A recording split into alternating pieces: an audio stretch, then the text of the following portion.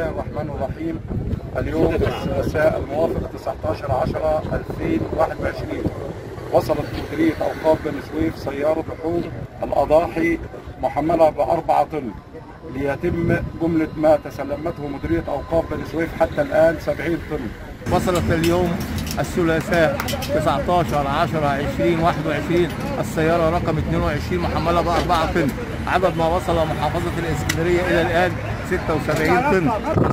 اوقاف الغربية اليوم الثلاثاء 19 10 2021 أن تل- أن تتلقى الدفعة رقم 18 4 طن بإذن الله تبارك وتعالى. كنا قد وصل إلينا 60 طن. النهارده 4 طن اذا المجموع 64 طن. فقد تسلمت مديرية أوقاف البحيرة اليوم الثلاثاء الموافق 19 أكتوبر 2021 حمولة لحوم صكوك أضاحي تصل. تزن أربعة أطنان ليكون إجمالي ما وصل إلى مديرية أوقاف البحيرة إلى الآن. 64 طنا السلام عليكم ورحمة الله وبركاته.